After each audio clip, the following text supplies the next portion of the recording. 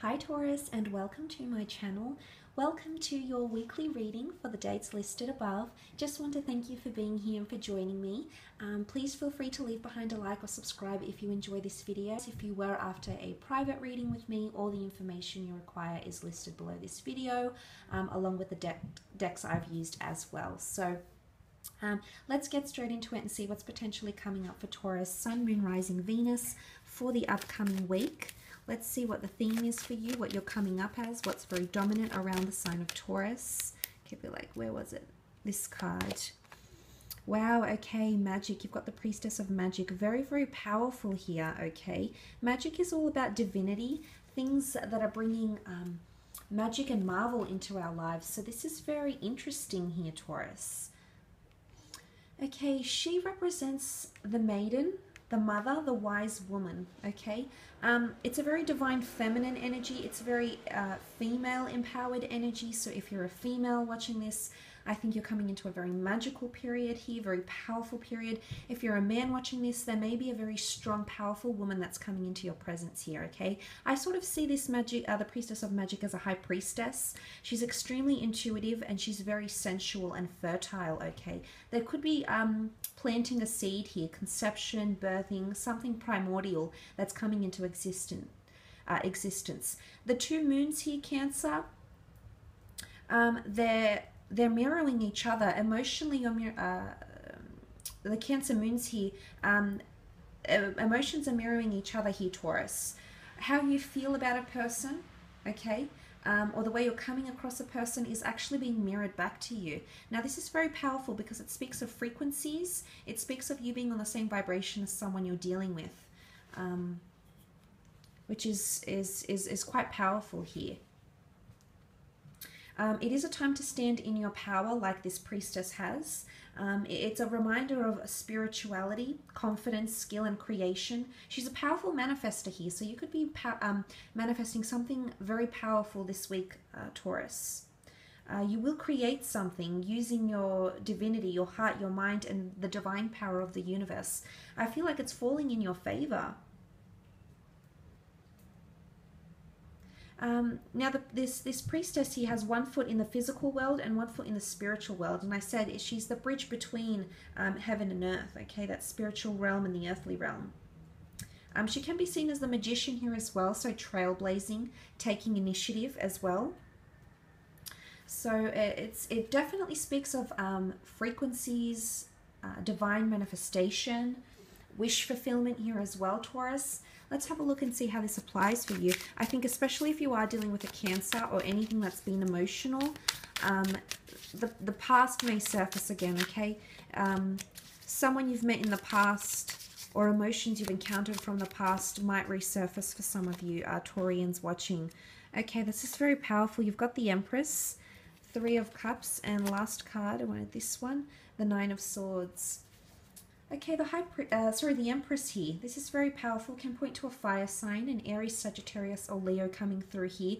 This is chasing the sun like a moth to a flame. This is a very strong attraction here, to, uh, Taurus. The Empress is often seen as very fruitful. Um, so again, you've got dub double seeds, pregnancy, um, creation, planting the seed or watching something grow or nurturing the growth of something in the upcoming week here. I think especially if you're dealing with a fire sign, there's a very immense attraction between the two of you. Uh, the Empress also rules the natural world, the spiritual world here as well. So I feel like you're seeing things come into abundance.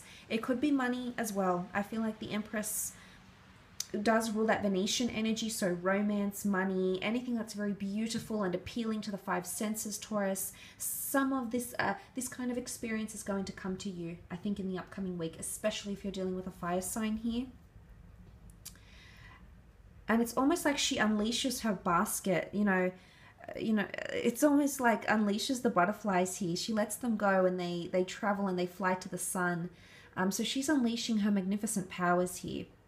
There could also be a fire sign that's really opening up to you, okay? There's someone that could be opening up about how they feel, um, about how drawn they are to you, how smitten they are with you. They could also be opening up about their anxieties. They could be opening up into a more intimate setting here, okay? There's intimacy coming coming into play here. Um, genuine emotional connections that are being communicated, that are being felt uh, in the upcoming week.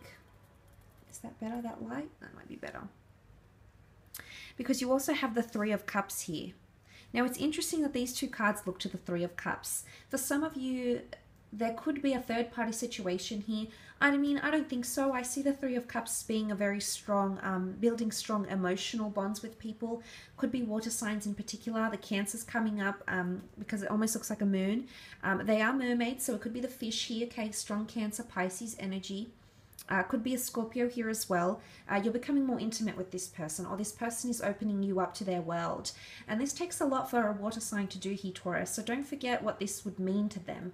Um, if you ever, if you're feeling in the upcoming week that you haven't got enough mental clarity, that if you felt clouded in this judgment, don't forget that you've come in your power here. That you're, if you're coming up as the card of magic, you've got one foot in the spiritual, one foot in the earthly realm here, Taurus. And what that means is, is that you're connecting on a very intuitive level with someone else or with a group of people.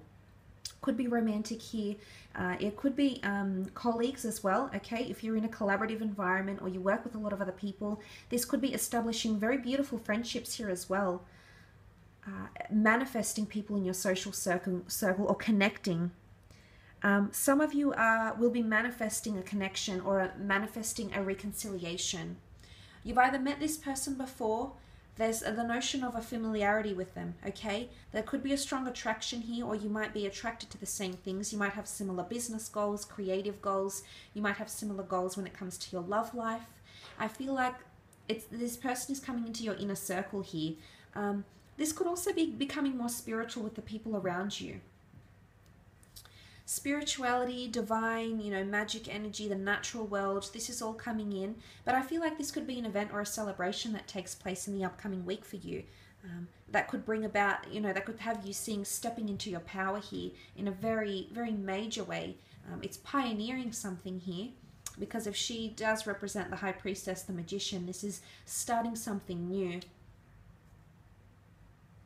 And if you are, you're celebrating to this, okay? So you're celebrating, you've got a lot to look forward to um, here. There could be a lot of planning and or research here as well. Look, I'm not going to lie, the Nine of Swords is here.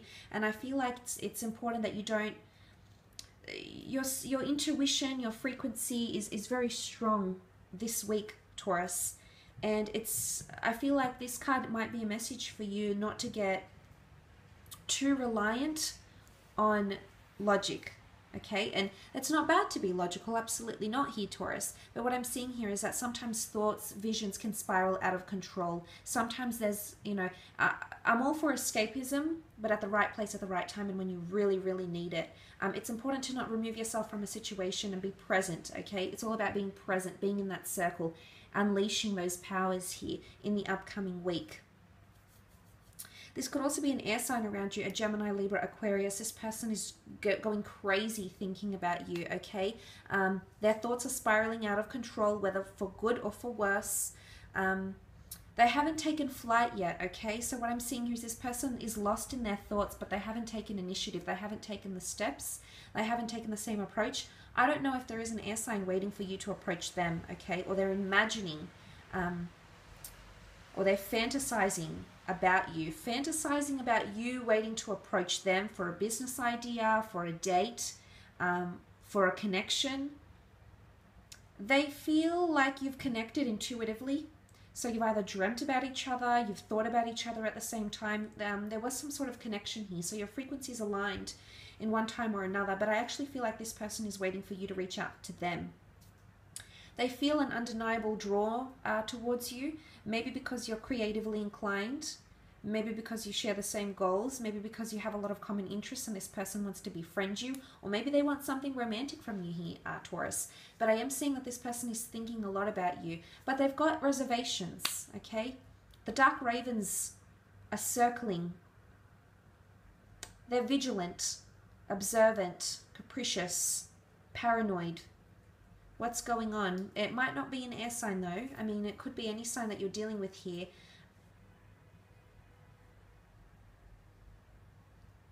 Um, there's an element of uncertainty or mystery that's coming in around them. This, as I said, it can be any sign you're dealing with, and you know, this could even be you here, Taurus. Nine of Swords, but the nine is coming to an end of a number here, so the nine is good. It shows that this phase will pass and that this week could see the end of that. Um, if you do have someone around you that's a little bit paranoid or unsure or hasn't really committed to anything in concrete, uh, this may just change with that very softer, intuitive side that you're going to present forward. Um, it's it's empathy here as well. There will be someone around you that needs your help, okay? A shoulder to lean on, a shoulder to cry on. This is why they're sourcing you, Taurus, because you are the rock. You're the strong and silent type. This is what you're known for. Um, this is in your nature, and this is why you seek out people romantically like this or friends because they know they can always rely on you. There's such reliability, um, and there could be someone here reaching out and wanting that from you in the upcoming week, to which you'll respond extremely empathetically here as well. So um, I will leave it at that though, Taurus. Thank you so much for watching. Please don't forget to leave behind a like or a subscribe and have a fantastic week ahead. So uh, thank you and bye for now.